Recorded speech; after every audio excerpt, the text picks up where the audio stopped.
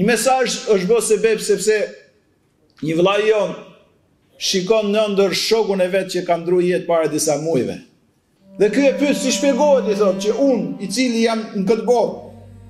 Megjithëse jam në ëndërr si të shikoj ty që ke shku ke i madhi Zot ke vdek.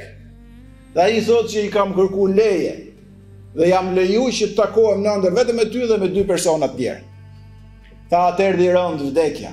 Vdekja është një moment shumë i rëndësishëm për gjithë secilin. Thot a të erdhi rëndë vdekja. Thot kur filloi me m'ardh exheli, fillova thot nga këmbët ndjej dhëmbje dhe fillun këmbët dalin jashtë funksionit dhe kështu është. Felaula idha balagatil hulqum thot Kurani famlar. Dhe deri sa thotë arrit shpirti në fyt. Pra fillon ngrehet nga këmbët deri sa arrit në fyt. Vazhdon krahëror, pastaj shkon deri në fyt deri sa i madhi Zot e merr atë. Thotë filloi edhe më dhimbshin këmbët deri sa s'i ndjeja më. Kur erdhi thotë shpirti, ky tani që kishte ndruar jetë ja tregon në ëndërr shokut vet ngushtë që vetëm gjumi i ka pas ndarë aq shumë kanë qëndruar dhe e kanë dashur njëri tjetrin. Që Zoti i mëshiroftë ato të dy qofshin në xhenet me ato bashkë dhe ne inshallah jemi në mëshirën e të Madhit Zot.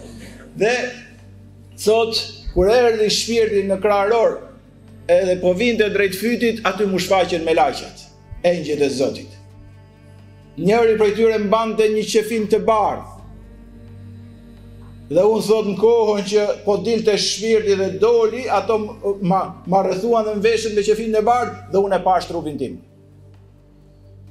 E pash trupin tim, që tashmë e kisha lënë atë, dhe ato morën thot dhe lart më çuan. Atje ku po më dërgonin ishte komplet botë tjetër. Siç është edhe shpjegume në islam që kjo botë ka ndryshime totale fare me botët e tjera, berzahut dhe ditës gjykimit. Janë ligje komplet dhe totalisht të ndryshme. Nuk ndërlidhen dhe nuk lidhen me njëra tjetrën. Dhe thot, po më ngrenin lart për në qiell dhe çkam parë komplet një botë ndryshe dhe e mbushur qielli me melajke me engjëj. Kur kam arrit thot që po hapeshin dyert e qiejve, thot një engjëll ka fol dhe tha ndaleni, se ai duhet të parfumoset me parfume të mrekullueshme që ta kaloj këtë vend. Dhe thot më kanë parfumos. Dhe thot i, më tha në ëndërr ai që kishte vdek ktij shokut vet, më tha afrohu ndjeje aromën. Thot jam afru nuk e kam ndjer. Dhe unë i thash kështu është sepse kjo botë ndryshon. Ai që është në këtë botë nuk e ndjen dot erën e mrekullueshme të botës tjetër kur Zoti të ka mëshiruar. Pastaj ka shkuar afër rahmetit të Zotit.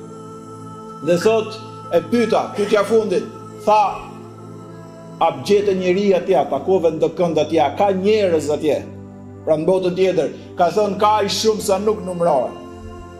Shumë kam parë, por me një person, si me thënë të fisit, familjes vetë, jemi taku dhe me ate aktualisht po qëndroj.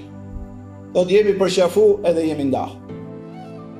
Vllezër dhe motra të nderuara, ju begatoftë i madhi zot, këto janë çaste, dhe këto, ky është udhëtim i madh që do bojë gjithsecili prej nesh, Muslimani dhe muslimania nuk jeton çdo çast që do vdes, po din ta jetojë jetën në raport me Zotin e gjithësisë, mundohet maksimalisht bëjë sa më shumë vepra të mira dhe i kërkon me sinqeritet Zotit falje për kusuret që ka.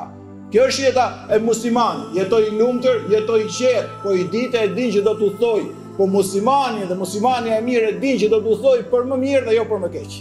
Sepse ky Zot i madhnueshëm që është kaq i mshirshëm dhe kaq i mirë në këtë botë, që ka dhuru kaq shumë për njerëzimin, që e ka stabilizu kaq paqshëm tokën, që jetojmë dhe kaq qetë në këtë tokë, dhe vetëm problemi është se ne ja nxijmë jetën njëri-tjetrit se Zoti i ka mbaru punët e paqshme të tij, a ky po i ky Zot do i presi njerëzit në botën tjetër? A, një gjë do nda, Kur vjen çasti për t'u nda, Zoti gjykon me dy mënyra, nuk ka të tretë. Gjëja e parë që gjykon i madhi Zot ke besimtarët dhe besimtaret e ndershme me mëshirën e tij të pakufishme. Sepse në qoftë se ai nuk gjykon me mëshirën e tij, ne nuk i marrim gjithë ato privilegje që merr njeriu. Dhe në qoftë se Zoti s'do të na kishte mëshiru këtu në tokë, ne s'do i kishim gjithë ato të mira që i kemi. Dhe gjykimi i dytë që bëhet me jobesimtarët dhe kriminelët dhe zullumqarët, dhe me të padrejtë dhe me mendjemdhej dhe me ato që i bëjnë shok Zotit të gjithësisë, ato i gjykon me drejtësinë e Tij, se Zoti vetëm këto dy ja ka, wa la yadhlimu rabbuke ahada, thotë Kurani, Zoti s'i bën padrejtësi askujt. O të gjykon me drejtësi dhe dënohesh, ose me mëshirën e Tij dhe begatohesh pa fund. Në fakt, vëllezër, motra të nderuara, për ne që jemi akoma gjallë ka vetëm një fat. Që jemi akoma të mundshëm për shtu veprat e mira dhe jemi akoma të mundshëm për të kërku falje për gjynahet që kemi.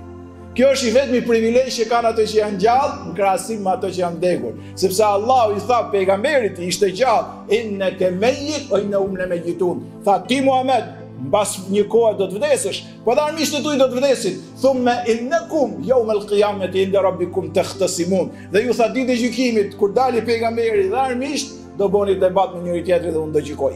Pejgamberi do thotë e kam përçu shpalljen i madhi Zot, ato do thonë nuk e ka sjell për shkak se duam t'i shpëtojmë dënimit e Zoti do gjykojë me drejtësi.